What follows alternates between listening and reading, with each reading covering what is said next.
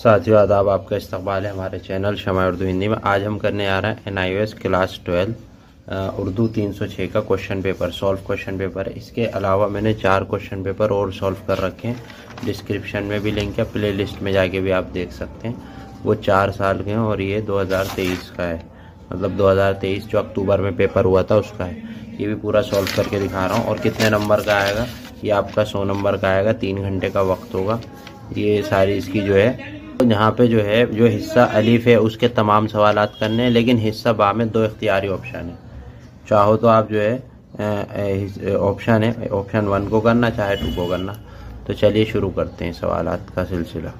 अब जो है, पहला सवाल है, हिस्सा अलिफ में मंदर जेल किन्हीं दो अशार की तशरी करें और शायर का नाम लिखें। तो पहला शेर है, ये मौजूदा तरीक़ा राह अदम।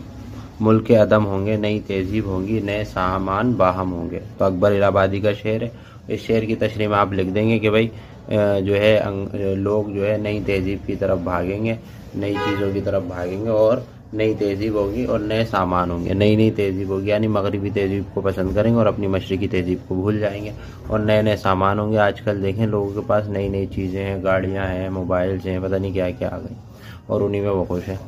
दूसरा शेर है रोशन जमाल यार से है, अंजुमन तमाम। देखा हुआ है आतिश गुल से चमक तमाम ये हज़रत मोहानी है इसके शायर। इन्होंने कहा है कि जिस तरह जो है अंजुमन जो है, रोशन जमाल जिस तरह जो है, सूरज की रोशनी से सारी दुनिया चमन बाग सब चमके हुए इसी तरह मेरे महबूब के आने से उसके चम, उससे जो है सारी अंजुमन क्या हुई है, चमकी हुई है। तो या तो ये आप तशरी कर दीजिएगा या फिर ये वाली तशरी कर दीजिएगा।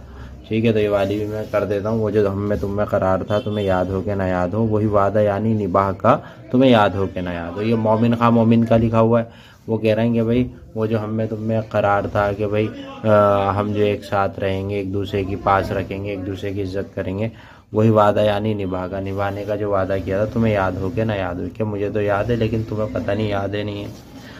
ठीक है? और दूसरा अब है मोम की तरह जलते रहे शहीदों के तन। रात भर जेल मिलाती रही। शम्मा सुबह वतन रात भर जगमगाता रहा। चाँद, तारों का वन तिश्नगी थी, मगर तिश्नगी में भी सरशार था प्यासी आँखों का खाली कटोरा लिए मुंतजिर मर्द से। ये जो है मखदूम मोइनुद्दीन की लिखी हुई है और ये जो लिखी हुई है मखदूम मोइनुद्दीन की, और वो शहीदों को बता रहे हैं कि शहीदों ने जो है किस तरह जो है आज़ादी दिलाई और रात भर वो चल बनाते रहे शम में वतन। आज़ादी के लिए रात रात भर जाएगी और पता नहीं कैसी कैसी परेशानी आई कि जो हमें आज़ादी मिली है वो आसानी से नहीं मिली। चाहे तो इन दो शेर की तशरी कर दी, अगर ये नहीं कर सकें तो फिर इन दो की तशरी कर दी और शायर के नाम भी लिखने हैं। तो अगला सवाल देखते हैं अब अब है किसी एक नज़म का मरकज़ी ख्याल लिखें और शायर का नाम लिखें। तो इन तीनों में से परछाइयाँ हुब्बे वतन, चाँद, तारों का बन। तीनों में से किसी एक के बारे में लिखना होगा। आपको पेपर में चार नंबर का आएगा। मैं आपको तीनों की करके दिखा रहा हूँ। हो सकता कोई सा टकरा जाए, लेकिन पेपर में आप एक ही को करिएगा, ठीक है? तो पहला परछाई था। परछाई जो है वो साहिर लुधियानवी की तख्लीक है। ये नज़म जो है, क्या बताती है? दूसरी जंग अजीम के पस मंज़र में लिखी गई है। और बरतानवी हुकूमत ने हिंदुस्तानियों को जंग में हिस्सा लेने के लिए मजबूर कर दिया था। शायर कहता है कि एक बार तो हम जंग में शामिल हो चुके, लेकिन अब अगर हमने किसी जंग में भेजने की कोशिश की तो हम उसका मुकाबला करना चाहिए। हिंदुस्तान वो पाक सरजमीन है जहाँ गौतम नानक जैसे लोगों ने जन्म लिया और सारी दुनिया को अमन का पैगाम दिया। तो यही परछाइयों के अंदर बताया गया है कि जो है, हम जो है बिला वजह किसी से नहीं लड़ते। हुब वतन का देख लेते हैं तशरी शायर का नाम भी बताना है। तो हुब वतन यानी खाके वतन जानिसार अख्तर की कामयाब, खूबसूरत नज़म है। इस नज़म से शायर का जज्बा हब्बुलवतनी का पता चलता है। ठीक है? शायर ने अपनी नज़म में जिस तरह अपने मुल्क के हर चीज़ों से ख्वाब, तारीख़ी इमारतों, नदी, तालाब में या फिर बाग, बागीचे, त्यौहार, फल, फूल का इजहार किया, उससे साफ़ तौर पर पता चलता है कि शायर किस तरह अपने मुल्क से मायूस है और यही वजह है कि वो हर चीज़ की सलामती के लिए खुदा से दुआ गो है। शायर को बहुत फ़ख्र है कि ये एवरेज जो दुनिया की सबसे ऊँची चोटी हमारे मुल्क हिंदुस्तान में ठीक है, यही सारी बातें आपको इसमें देखनी है। अगला सवाल है, चाँद तारों का बंद इसको देख लेते हैं। चाँद तारों का बंद जो है मखदूम मोइनुद्दीन की नज़म है। ठीक है, इस नज़म में उन्होंने आज़ादी के पस मंज़र में होने वाले वाक़ात को बयान किया है। मतलब मेन मकसद इसका यही है। और यहाँ पे मखदूम मोइनुद्दीन ने मखदूम ने जज्बात और एहसास को जगाने वाले अच्छे शायर उन्होंने अकदपंदी की काफ़ी हद तक मिलती। आज़ादी से कबल के हालात पर रोशनी डाली और हिंदुस्तानी अवाम के जोशो, जज्बे को उजागर करने की कोशिश की। शायर कहता है, यहाँ पे कि आज़ादी तो मिली, हम एक आज़ाद मुल्क में सांस लेने लगे। इससे पहले हम अंग्रेज़ों के ग़ुलाम थे, लेकिन ये आज़ादी इतनी आसानी से नहीं मिली। शहीदों की कुर्बानियाँ तरह तरह की मुसीबतें झेली बस ये इसकी जो है वो है क्या कहते हैं, मरकज़ी ख्याल और शायर का नाम मखसूम मोइनुद्दीन है। अब अगला सवाल है। अगले सवाल में भी आप देखें, अगर सवाल नंबर तीन, अकबर इलाहाबादी, साहिल लुधियानवी और जानिसार अख्तर में से किसी एक शायर की हालात ज़िंदगी, उनका कलाम इसलोब बयान की खूबियाँ सब पर तफसील से रोशनी डालिए। ठीक है किसी एक शायर की, जैसे यहाँ पे किसी एक के बारे में, ऐसे यहाँ पे भी किसी एक मैं, तीनों के बारे में बताऊँगा ताकि आपको कोई ना कोई शायर का ज़रूर टकराएगा। ठीक है? और मैं इस पर एक वीडियो भी बना रहा हूँ कि सब शायरों की खूबियों में कुछ चीज़ें ऐसी हैं जो कॉमन होती हैं। वही वीडियो डाल दूँगा मैं। और मैंने चार इसके चार पेपर सॉल्व कर दिए। चार पेपर आप देख लीजिएगा प्ले लिस्ट में जाके या लास्ट में आएँगे वीडियो के, वहाँ से आप सेलेक्ट कर लीजिएगा। ठीक है, चलिए तो मैं इसके एक एक करके दिखाता हूँ। अकबर इलाहाबादी का पूरा नाम सैयद अकबरुद्दीन हुसैन रिजवी है। नवंबर अट्ठारह को इलाहाबाद में पैदा हुए। इब्तदाई तालीम वालिद मोहतरम की रहनुमाई में ही पाई। तरक्की करते हुए सेशन जज के अहदे में फाइज हुए और उन्नीस सौ इक्कीस में इस दुनिया के लिए, हमेशा के लिए खैर बात का ठीक है, ये तो हो गया इनके बारे में मालूम अब इनकी जो शायरी है मतलब जो इनकी शायरी और हालात ज़िंदगी तो हो गए। अब इनकी जो शायरी है, उसके बारे में पता कर लेते हैं क्या श्लोक है। अकबर अपने अहद की बहुत बड़ी शख्सियत है। उन्होंने जिस दौर में आग खोली, वो बड़ा ही आशोक दौर था। हिंदुस्तान पर अंग्रेज़ी हुकूमत पूरी तरह कायम हो चुकी थी और हर तरफ़ उन्हीं की तहजीब का बोलबाला था। ठीक है? इन्होंने अपनी शायरी के ज़रिए अंग्रेज़ी तालीम के मनफी असरात और अंग्रेज़ी तहजीब की अंधी तकलीद पर खूब ज़ोरदार हमला किया। ये पेपर में आपको लिखना है कि अंग्रेज़ों के ख़िलाफ़ लिखते थे, कहते थे मशरक़ी तहजीब अपनी अच्छी है, वो ज़्यादा, लेकिन लोग मगरब की तरफ़ भाग रहे हैं। उन्होंने छोटी छोटी नज़मों के ज़रिए कौम की वो असलाह की, जो बड़ी बड़ी तकरीरों से नहीं किया जा सकता। अकबर ने नई नस्ल को मजहबी और तहजीबी रिवायत से बेगानगी नौजवानों की बहरा रवि और औरतों की नाम नहाद आज़ादी पर खूब ज़ोरदार तंज किया। और नज्म नई तहजीब में ज़माने का रुख को देखा, शायर ने पेशन गोई की कि आने वाली नस्ल अंग्रेज़ी तहजीब की चमक दमक को देखकर उसकी तकलीद करेगी और अपने तमद्दन को भूल कर शनाख्त खो देगी। और शायर की बड़ी हद तक सच साबित हो रही, बात भी सच साबित हो रही। तो यही जो है इनके बारे में आप लिख देंगे। अब अगला है साहिल लुधियानवी। साहिल लुधियानवी के बारे में देखते हैं। साहिल लुधियानवी का असल नाम अब्दुल हई था और तखल्लुस। साहिल लुधियाना में विलादत हुई और इसीलिए लुधियानवी के इब्तदाई तालीम लुधियाना में पूरी की अदबी ज़िंदगी का आगाज़ तालिब इल्मी के ज़माने में ही हो गया। सबसे पहले अदब लतीफ़ और सवेरा लिखे कई मुश्किलों का सामना करना पड़ा। रोज़गार की तलाश में मुंबई आए और फिल्मी दुनिया से वाबस्तगी इख्तियार की और बेपना शोहरत पाई। ठीक है जी। अब इनकी जो है स्लोप के बारे में बात कर लेते हैं। कैसा था इनका? तलखे इनकी इब्तदाई ज़माने का कलाम है, बहुत से एडिशन शाये हुए। साहिल लुधियानवी की शायरी बहुत दिलकश है, उसमें शादाबी है, रंगीनी है, बदरजा अतुम मौजूद है, हर नगमा एहसास की दिलकशी से लबरेज है, जो उनकी मकबूलियत का राज है, उनके अंदाज जज्बात है, उन्होंने समाजी और सियासी मसाइल पर भी गीत लिखे। बस, ये इनके बारे में लिख दिएगा अगला है, जानिसार अख्तर, इनके बारे में पढ़ लेते हैं। जानिसार अख्तर जो है, दौरे जदीद के एक मकबूल तरीन शायर है। और पूरा नाम इनका सैयद जानिसार हुसैन रिजवी और अख्तर तखल्लुस है यूँ तो आबाई वतन यूपी है, लेकिन जानिसार की विलादत ग्वालियर में हुई। ठीक है सारी बातें लिख दिएगा। अब इनका जो है स्लोप के बारे में बात की जा रही है। तो यहाँ पे हम कर लेते हैं। जानिसार, अख्तर ने, साहब ने नज़में और गज़लें दोनों कहीं। कुछ रुबाइयाँ और ख़तात भी लिखी। नज़मों के मुकाबले गज़लों की तादाद बहुत कम है। जबकि उनकी तरबियत गज़ल की क्लासिकी रिवायत के माहौल में हुई। उनकी गज़लों में इतने तज बात की परछाइयाँ नज़र आती हैं जज्बात की सदाकत और लहजे की लताफत के इम्तजाज से उनकी गज़लात का खामेजा तैयार होता है। उनकी गज़लों में जो उनके दिल की धड़कन सुनाई देती है।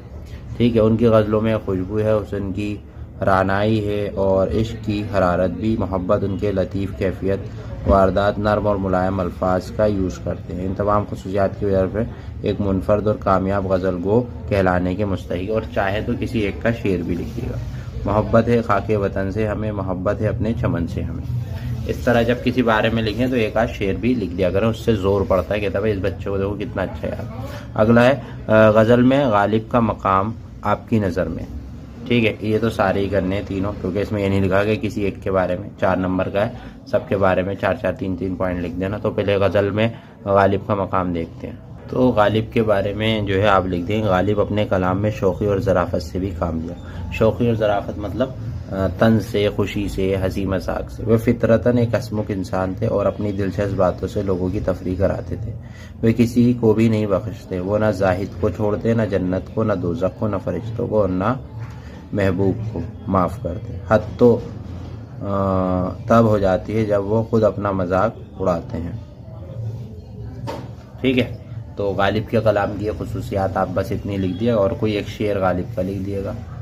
ठीक है?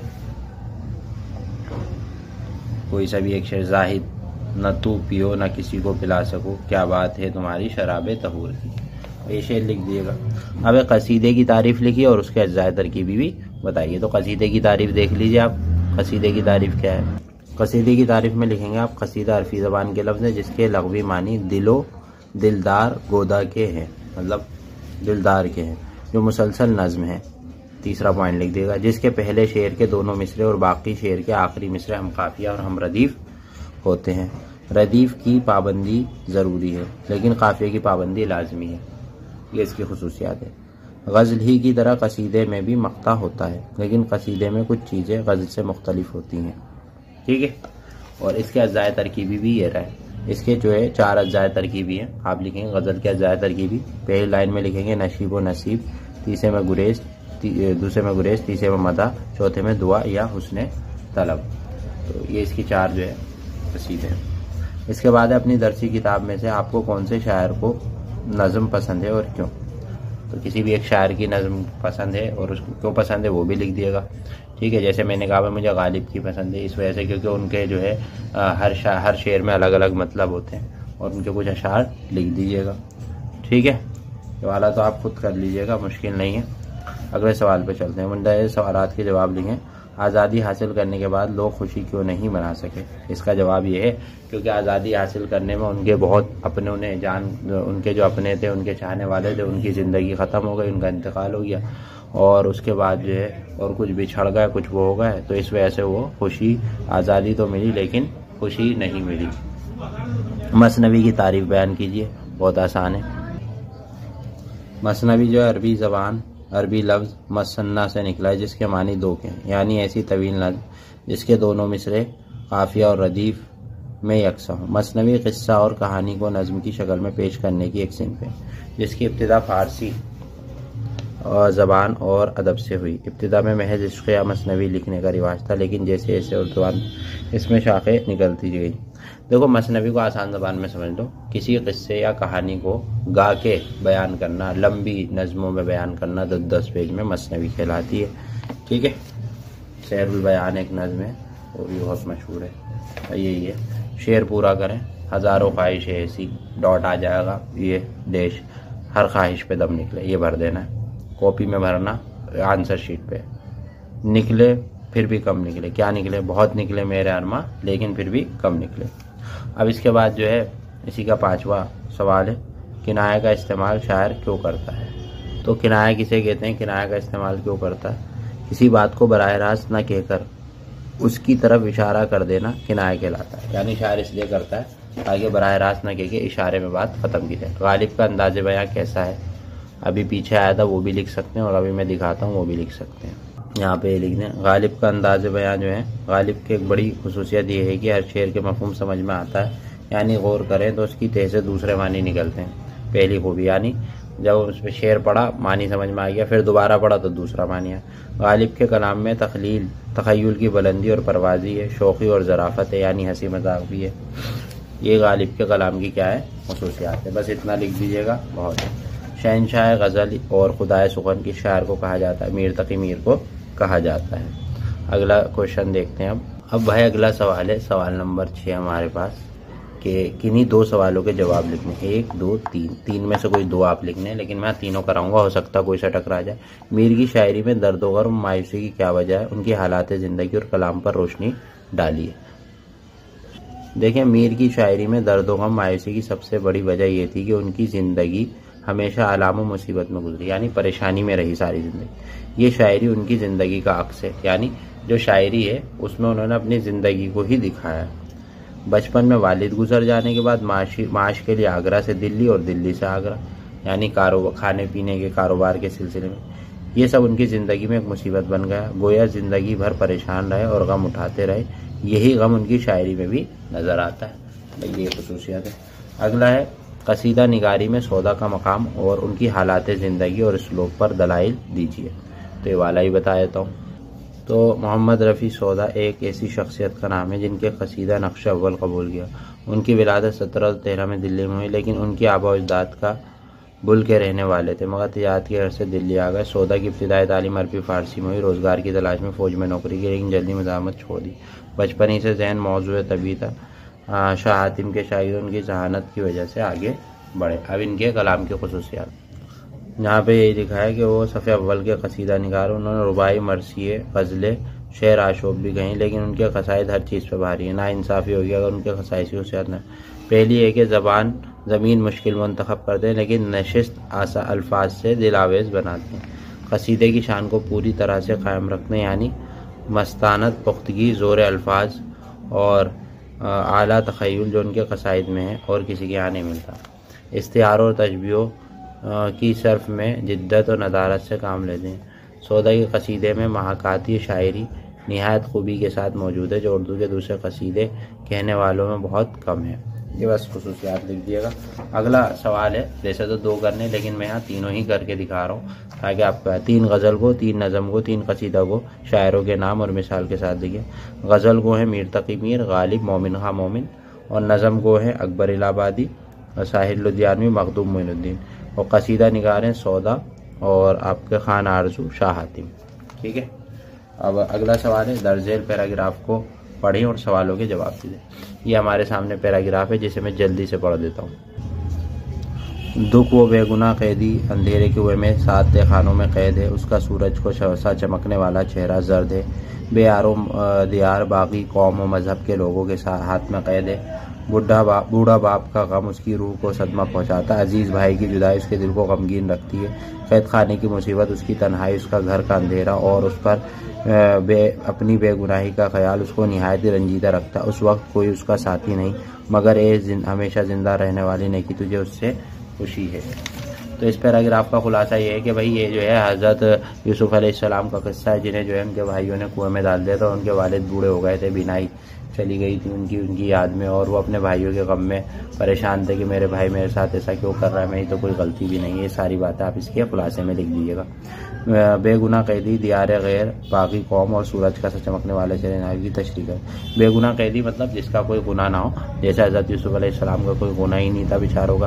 उनको ज़बरदस्ती उनके भाइयों ने, दियार गैर मतलब दूसरों के हाथों में डाल दिया गैर, जहाँ पे वो किसी को जानते नहीं, पहचानते नहीं। बागी कौम, यानी जो कौम बागी हो गई हो, जो अल्लाह के हुक्मों को तोड़ती है। सूरज सा चमकने वाला चेहरा, यानी खूबसूरत चेहरा, हसीन चेहरा और जो है बहुत उमदा चेहरा। ये इसकी तरह मुसनफ़ ने हमेशा ज़िंदा रहने वाली नेकी किसको कहा है? मुसनफ़ ने हमेशा ज़िंदा रहने वाली नेकी उम्मीद को कहा है। उम्मीद, है ना? तो हमेशा ज़िंदा रहने वाली उम्मीद। तुझ में इसकी खुशी है तो हमेशा ज़िंदा रहने वाली नेकी क्या है? उम्मीद। तो ये या तो आप ये वाला पैराग्राफ कर दिएगा, या अगले पेज पे एक और पैराग्राफ है वो। ये पैराग्राफ है, ये आपके लिए मैं छोड़ रहा हूँ, ये आप करिएगा, ठीक है? और अगले सवाल पर आ जाते हैं। दस जेल में से किसी दस जेल में सभी सवालों के जवाब दीजिए। दास्ता और अफसाने का फ़र्क बताते हुए बताया कि आपको कौन सा अफसाना पसंद है और किस मुसनफ़ का? ठीक है भाई मुझे तो अफसाना जो पसंद है वो प्रेमचंद का पसंद है। और वो ईदगाह। ठीक है दास्तान और अफसाने का फ़र्क बताते हैं क्या है। वैसे तो मैं आपको ज़बानी बताया दूँ दास्तान कहते हैं कि लंबी कहानी दर कहानी किस्से को, जिसमें जो है जादुई बातें होती हैं, जिसमें जिनों का, भूतों का, फरिश्तों का और जो है परियों का किस्सा होता है और अफसाना जो होता है उसमें हकीकी किरदार होते हैं, हमारी ज़िंदगी के किरदार होते हैं। ठीक है? तो ये अफसाना और दास्तान में खाएगा और दास्तान जो होती है, वो कहानी दर कहानी, यानी कहानी के अंदर कहानियाँ होती है और अफसाने में कहानी दर कहानी नहीं होती, बल्कि एक ही कहानी होती है। अब अगला देख लें, अफसानवी अदब और गैर अफसानवी अदब में किन किन इसनाफ पर रोशनी डाली गई। किसी एक दास्तान के मुसनफ़ का नाम लिखे। मीर अमन ये दास्तान के मुसनफ़ का नाम है। अफसानवी और गैर अफसानवी अदब में कौन कौन सी इसनाफ आती हैं वो बताए तो। अफसानवी और गैर अफसानवी अदब में जो फ़र्क नज़र आता है वो ये है। अफसानवी अदब में नावल, दास्तान और अफसाने को शामिल किया गया है। ये तीन चीज़ें शामिल है। और जबकि गैर अफसानवी अदब में तस्करा निगारी, खाका निगारी, इंशाइया रिपोर्टाज तनकीद कातिब, मजमून निगारी, सहाफ़त तंजो मज़ा आपबीती वगैरह को शामिल किया गया यही फ़र्क है। अगला सवाल है कि गालिब ने नसर में क्या दाग बेल डाली? तो इनके बारे में पढ़ लेते हैं गालिब के बारे में। गालिब ने उर्दू शेर व अदब के बेताज बादशाह यूँ तो उनकी शहरत का मकबूलियत शेर है, लेकिन नसर पर भी उनका एहसान है। क्या एहसान है? वो देखिए, मकतूब निगारी की उन्होंने बुनियाद डाली। गालिब ने, गालिब से कर उर्दू नसर में मकतूब निगारी तकल्लुफ़ व तसन्ना अलकाब व आदाब से बोझल अल्फाज की जंजीरों से जकड़ी हुई थी, यानी बड़े मुश्किल मुश्किल अल्फाज आते थे। गालिब ने एक नई जान फूकी और नया तर्ज ईजाद किया। उन्होंने सादगी, शगुफ्तगी और आसान तहरीरों को ज़ोर दिया, मरासिले को मुकालमा बना दिया। अब इसके बाद है, सर सैद अहमद कागी नसर में क्या क्या खूबियाँ हैं, अपने ख्याल पेश कीजिए। बिल्कुल यही हैं जो गालिब की हैं नसर में। उन्होंने भी आसान अल्फाज पे ज़ोर दिया, दिखा देता हूँ मैं आपको। सर सैद उर्दू अदब के ऐसे नामूर अदीम हैं जिन्होंने उर्दू ज़बान को अरबी और फ़ारसी के बंधन से आज़ाद कराया। उससे कबल उनकी इस ज़बान पर उर्दू और फ़ारसी का गलबा था। उन्होंने उर्दू ज़बान को सादगी और सफ़ाई से रोशनास कराया। ज़बान उनकी बेहद साफ़ तकल्लुफ़ और तसन्ना से पाक है। यही इनकी कलाम की खूबी आसान ज़बान का इस्तेमाल था। उन्होंने कहा, पैगाम पहुँचना चाहिए आसान ज़बान सवाल नंबर नौ है दर्ज झेल सभी सवाल के जवाब लिखना है। तो यहाँ पे छः हैं छः के छः लिखने। पहला सवाल है, हक वफादारी किस दास्तान का हिस्सा है? तो तोता कहानी एक दास्तान है, उसका हिस्सा है। सबक पूछ की रात के दो किरदारों के नाम लिखे। यहाँ तीन लिखे, कोई भी दो लिख देना। हल्कू, मुन्नी और जबरा। और कुबरा का रिश्ता न आने की क्या वजह थी? कुबरा के लिए रिश्ता न आने की सबसे ख़ास वजह उसकी मुफलिसी और गरीबी थी, यानी गरीब और मुफलिस थी अगला है, नई रोशनी से मुसनफ़ की क्या मुराद है? तो नई रोशनी से मुसनफ़ की जो मुराद है, वो यही है। अब आज़ादी और बराबरी का हक़ इस जुमले को रोशनी में औरतों के जायज़ हकूक़ पर एक जायज़ हकूक़ की बात की गई है। ठीक है, नई रोशनी से मुराद मुसनफ़ की मगरबी तहजीब से है। ठीक है। अगला है ब्रिज बानो कौन है? ब्रिज बानो एक खूबसूरत औरत का नाम दिया गया है। दरअसल उर्दू ज़बान ही ब्रिजबानो के रूप में पेश किया गया एक तमसीली खाका है। ब्रिजबानो दरअसल एक ऐसी औरत है जिसकी माँ हिंदू और बाप मुसलमान है और वो पाकिस्तान से मुसनफ़ के साथ हिंदुस्तान तशरीफ़ लाई है। ये इसका जवाब है। दसवा सवाल है, असमत चौकताई के अंदाज बयान पर रोशनी डालिए। तो असमत चौकताई का इसलोब नहायत अनोखा, निराला और शानदार है। ज़बान दिलकश है। औरत की ज़ुबान पर उन्हें बतौर ख़ास महारत हासिल है। ठीक है, उनके मुकालमे बेहद पसंद किए जाते हैं, यानी डायलॉग्स मुकालमे में तंज ज़राफ़त भी खूब नज़र आती है तंज भी करती हैं और हँसी मज़ाक भी। प्लॉट सीधे साधे होते हैं, मगर किरदार जीते, जागते और खुश रंग होते हैं। इसमें शौकी, तेज़ी, तंज और बेबाकी, मुहावरात का इस्तेमाल भी वो खूब करती हैं, यानी जुमलों का। वे पूरे माशरे की गौर खोज करती हैं और फिर एक, फिर उनमें घुल मिलकर अपने अफसाने का तनावर दरख्त तैयार करती है। ये सारी खूबी आपको लिखनी है। इसमें से कोई पाँच पॉइंट लिख देना। दो अफसाना निगार नोवेल निगारों के नाम लिखे। उनकी तसानीफ पर रोशनी डालिए। तो अफसाना निगार प्रेमचंद, अजमत चुख्ताई कृष्ण चंद नोवेल निगार और प्रेमचंद। ठीक है? और उनकी तसानीफ आप जानती हैं, ईदगाह है और दरवाजे खोल दो है। अजमत चुख्ताई का जो है, चौथी का जोड़ा है, ये सब अगला सवाल, या तो ये करना था या ये। दोनों में से कोई एक, मैं दोनों कर रहा हूँ। ताकि कोई से टकराएगा। ड्रामा क्या है? इसके बारे में दलाइल पेश कीजिए। तो ड्रामा यूनानी लफ्ज ड्राव से निकला है, जिसके मानी हरकत तो अमल के हैं। दूसरे लफ्जों में कहा जाए तो ड्रामा तमाशाइयों के रूबरू स्टेज पर अदाकारों के ड्रामे के ज़रिए पेश करना है। किसी मशहूर ड्रामा निगार का कौल है कि दुनिया एक स्टेज और इंसान इसका अदाकार, यानी इंसान की पैदाइश गोया स्टेज का स्टेज पर आना और उसकी मौत गोया स्टेज से गुजर जाना है। अगला सवाल है हमारे पास कि कुबरा या चंपा या भोले में से किसी एक किरदार पर रोशनी डालें। आपको किसी एक के बारे में लिखना होगा। मैं यहाँ दो के बारे में बताया था। चंपा के बारे में आप ढूंढ लीजिएगा। इस चहल पहल से कुबरा शर्म की मारी पोट्री में बैठी। इतने में मतलब कुबरा जो है एक जो है, कुबरा ये है, कुबरा बड़ी बेटी है, सरवरी की दो बेटियाँ हैं, कुबरा बड़ी। कुबरा की शादी की फ़िक्र सरवरी को हर वक्त सताती रहती है। अजमत चौकाई ने अफसाने के दूसरे हिस्से में सरवरी के अरमान और हसरत मायूस का ज़िक्र किया। कुबरा जवान हो चुकी है, लेकिन मुफलिसी भी उनकी चौखट पर खड़ी है। कुबरा के लिए जो चौथी का जोड़ा तैयार किया गया, कुछ अरसे बाद पुराना हो जाता है। ये सारी बातें आप कुबरा के बारे में लिख दिया गया। जो है, भोला जो है, अफसा, इसके बारे में भी लिखना है। रणविंदर सिंह बेदी का अफसाना भोला में एक मासूम किरदार है, जो अपनी मामू को बहुत चाहता है। और उसके आने में मुंतजर है। भोला अपनी माँ और दादा का भी प्यारा है, ठीक है, उनसे भी प्यार करता है। इस कहानी को सुनने का बहुत शौक है, दादा से जिद करता है कहानी सुनने को। उसके दादा बताते हैं, रात में कहानी सुनने से मुसाफिर रास्ता भूल जाते हैं। उसके जहन में बैठ जाती है। जब उसके मामू उसके यहाँ आने वाले होते हैं तो उसे लगता है मामू रास्ता भटक जाएँगे। इसलिए मामू को रास्ते में भूलने से बचाने के लिए रास्ते के वक्त लालटेन लेकर अकेले निकल जाता है और ये उसके भोलेपन की इंतहा है। तो इसके बाद जो है, आप अगला सवाल है, नई रोशनी या उम्मीद की खुशी में से किसी एक किरदार का खुलासा लिखें। मुसनफ़ ने कहानी की इब्तदा में बताया कि चिड़िया चिड़े नई रोशनी की एक ऊँची कोठी में अपना घोंसला बनाया है। नई रोशनी से मुराद अंग्रेज़ी तहजीब से है, क्योंकि इस कोठी में एक मुसलमान बैरिस्टर और एक ईसाई बीवी रहती है और वह अपनी बच्ची को मिस बाबा कहती है। अंग्रेज़ी में मिस बग़ैर शादीशुदा लड़की को कहते हैं। और बाबा हर छोटे बच्चे को खा वो लड़का हो या लड़की, बाबा कहते हैं। ठीक है तो इसमें जो है, यही चीज़ मुसनफ़ ने जो आखिर में बताया, सबक के आखिरी हिस्से में यही बताया कि मजहबी मगरबी तहज़ीब पर तीखा तंज का, वो कहता है, मगरबी तहज़ीब में रिश्तों की कोई कदर नहीं होती। उनके दिल में माँ बाप के लिए अदब व एहतराम इज़्ज़त व मोहब्बत का जज्बा नहीं होता। उनका, उन्हें उसका ज़रा भी एहसास नहीं होता कि उनको पालने और परवरिश करने में माँ बाप ने कैसी कैसी तकलीफ़ उठाई। बल्कि वो तो अखलाकी ज़िम्मेदारी समझते हैं, इसीलिए मगरबी तहजीब में दिन ब दिन गिरावट आती जा रही है।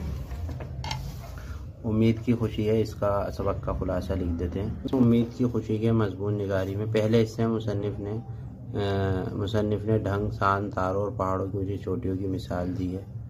और दूसरा जो इसका मुसनफ़ का हिस्सा उसने कहा है कि उम्मीद जो आसमानों की रोशनी, वरना उम्मीद की तसल्ली बनाता है। वो भी कहते हैं कि उम्मीद के सहारे ही हर कोई अपनी मेहनत का फल मिलता है। उम्मीद ही हर दर्द की दवा है और उम्मीद ही हर गम का दूर करती है।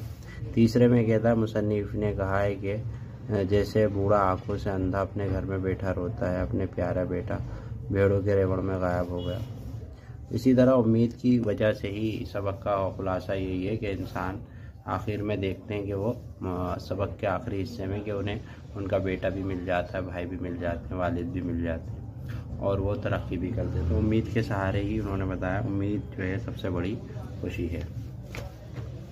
अगला क्वेश्चन है कि प्रेमचंद सबक सवाल नंबर तेरह, प्रेमचंद अजमत चौकताई या राजेंद्र सिंह बेदी में से किसी एक मुसनफ़ के हालात ज़िंदगी उसलूब बयान पर रोशनी डालें। तो तीनों में से किसी एक का लिखना है। मैं आपको तीनों दिखा देता हूँ। प्रेमचंद का उर्दू के सबसे बड़ा अफसाना निगार है है ना? प्रेमचंद का असल नाम धरपत राय वाराणसी के एक छोटे से गाँव लखनी में पैदा हुए। और जो है, प्रेमचंद के अफसार निगारी की जो सबसे अहम खूबी है, उन्होंने देहात की ज़िंदगी, कामयाब तस्वीर कशी की, समाजी मसाइल को कहानी का मौजू बनाया। प्रेमचंद की अफसाना निगारी का दूसरा अहम पहलू यह है कि वो इसलाह पसंद इंसान और समाज में फैली बुराई को दूर करना चाहते हैं। गरीबों पर जुल्म, सरमायादारों और मज़हब के ठेकेदारों की ज़्यादतियों ऊँची ज़ात वालों के दूसरों के हक़ समझना। और इसी तरह की दूसरी बुराइयों उन्हें तड़पा दिया है। इसीलिए उन्हें दूर करने की ख्वाहिश उनके दिल में पैदा होती है। ठीक है? तो और अजमत चौथाई के बारे में भी लिख, इनकी किताबों के बारे में भी लिख देना। प्रेम पच्चीसी प्रेम बेती आखिरी तोहफा, दूध की कीमत कफन अब अजमत चौथाई को देख लेते हैं। अजमत चौथाई जो है, अफसाना निगार, उर्दू में एक दायमी नक्श छोड़ा उनमें, नुमाया। नाम अजमत चौथाई का है। आबाई वतन आगरा था, इब्तदाई तालीम वहीं हासिल करी। और अदबी ज़िंदगी का आगाज़ भी यहीं किया। तरक्की पसंद तहरीक में शामिल थी। और इन्होंने जो है मुस्लिम घरानों के लड़के और लड़कियों की ज़िंदगी उन फ़ंक्शन का मौजू बनाया फिक्शन का मौजू बनाया। अजमत एक महदूद मैदान में इंतहाई दर्जे की महारत का सबूत दिया। ठीक है उन्होंने उनके घरों के अखलाकी माशी और माशती जहन को सुलझाने में मदद की। और अजमत की ज़बान बहुत दिलकश है, औरतों की ज़बान पर उन्हें बतौर महारत हासिल उनके मुकालमे तो बेहद पसंद किए जाते हैं उनके मुगालों में। हजब ज़रूरत तंज ज़राफ़त भी है, उनका एक एक जुमला तराशा हुआ, मालूम होता है। अजमत चुख्ता नफसा नगार को ऐसे फ़नकाराना महारत का सबूत देगा उन्हें बरसों याद रखा जाएगा। इनके अफसाने जो हैं फिलिया छुई, मुई वगैरह हैं। अब इसके बाद हैं राजेंद्र सिंह बैदी, इनको देख लेते हैं। राजेंद्र सिंह बैदी दौरे जदीद के हकीकत पसंद अफसाना निगार है दर, दरअसल उन्होंने बहुत कम लिखा लेकिन जो कुछ लिखा बेहद अखला इंतखब और दजर गौर फ़िक्र लिखा। उनकी पैदाइश उन्नीस सौ पंद्रह में सियालकोट में हुई लाहौर से मैट्रिक की। उन्होंने फ़िल्मों के लिए भी कई कहानियाँ लिखी अपनी तहरीरों के लिए एक लफ्ज़ पर गौर खोज करते ये सारी बातें उनके अंदर हैं।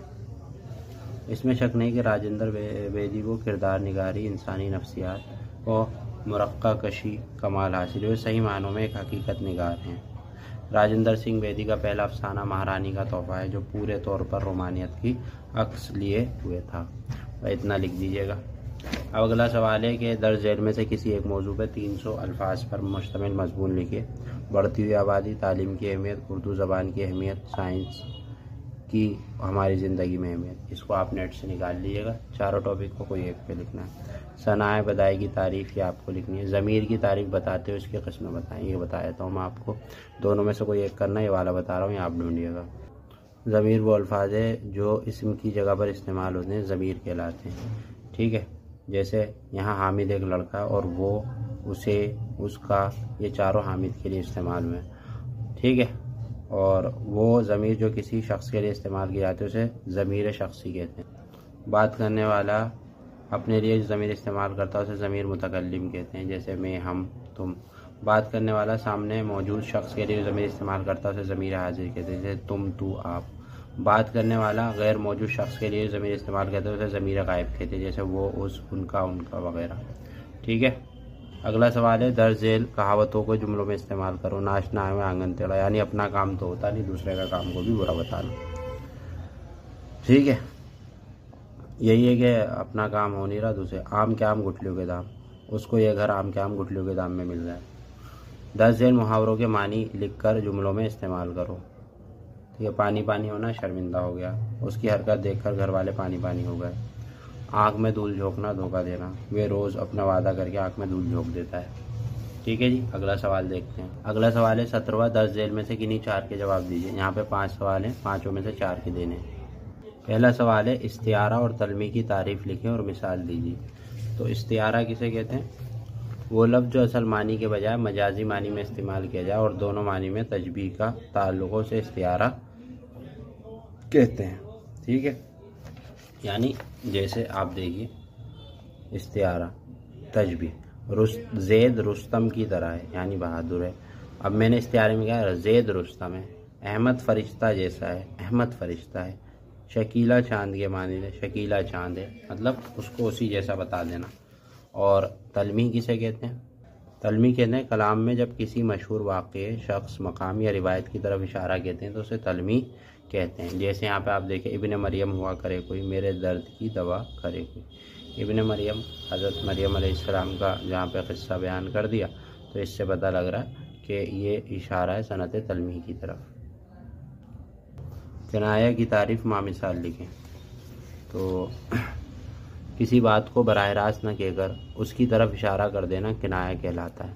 मसलन हम में से, हम किसी से कहें, मुझे तुम से इस बात की उम्मीद ना थी। इस जुमले में हमने अपने दोस्त की किसी खामी को बरह रास्त न बताकर इशारे में उसकी कमी का एहसास दिलाया। इसे बोलते हैं किनाया। हुसन मतला किसे कहते हैं? हुसन मतला, गज़ल का जो पहला शेर होता है, वो मतला कहलाता है। ठीक है, उसे हुसन मतला कहते हैं। अगरा तखलुस का इस्तेमाल शायर कब करता है? अगला सवाल है तखलुस का इस्तेमाल शायर तखलुस जो होता है, शेर के आखिरी जुमले में इस्तेमाल आखिरी जो शेर होता है ना, उसमें इस्तेमाल करता है। जिस नाम से शायर मशहूर हो जाता है, उसे तखलुस बोलते हैं। ठीक है? तो आप लिख दिएगा अब अगला सवाल है कि क़ता और रुबाई का फ़र्क बताएँ। रुबाई है पहले कि गज़ल, कसीदा, मरसिया, मसनवी की तरह रुबाई लफ्ज़ भी अरबी, लफ्ज़ रबी से मुश्तक है, जिसके मानी चार के इस एतबार से रुबाई चार मिसर वाली नज़म को कहते हैं। बस इतना लिख दीजिएगा, बहुत है।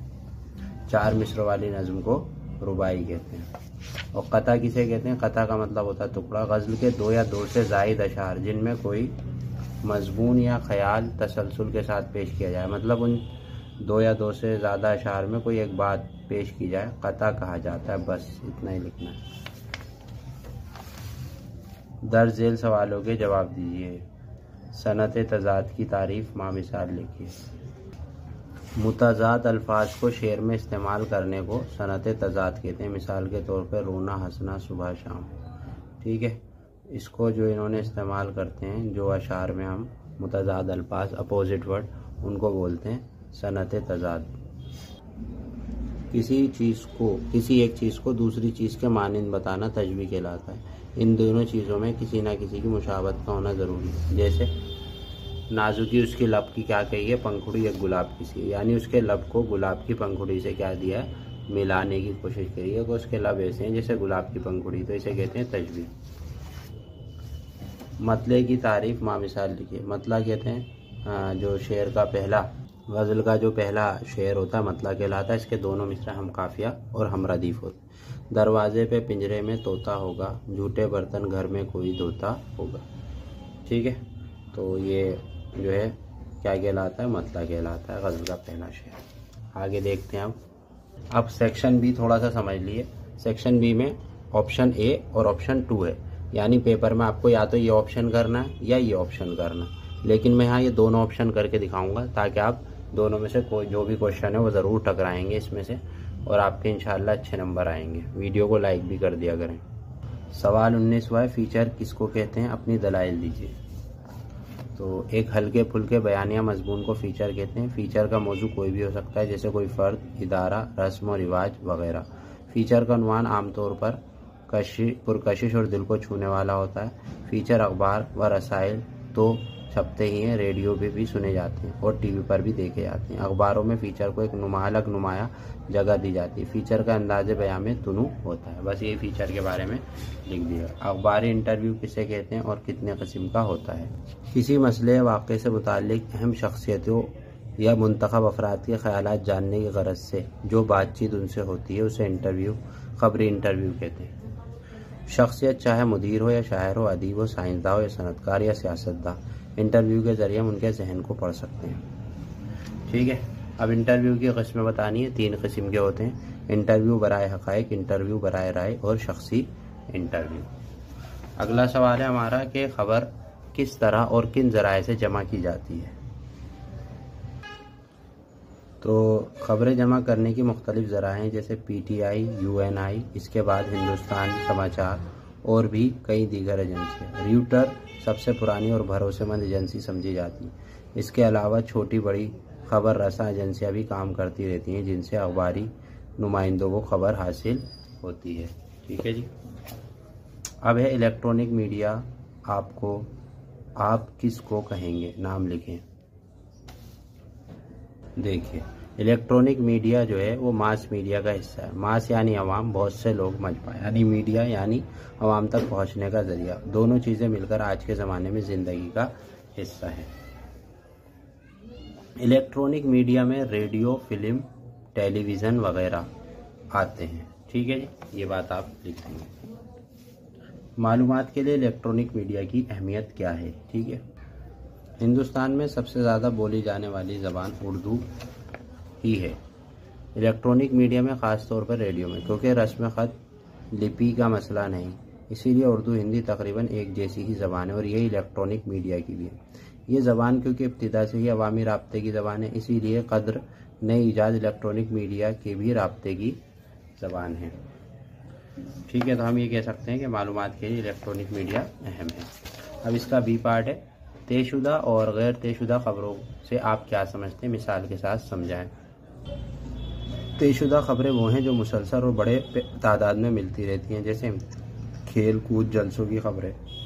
ये तयशुदा होती हैं जो मतलब हमेशा आती रहती हैं, जैसे खेल की आ गई, इम्तिहान क्या गैर तयशुदा खबरें हैं जो उन हादसों की तफसील होती है जो अचानक रूनुमा हो जाए, जो अचानक हो जाए।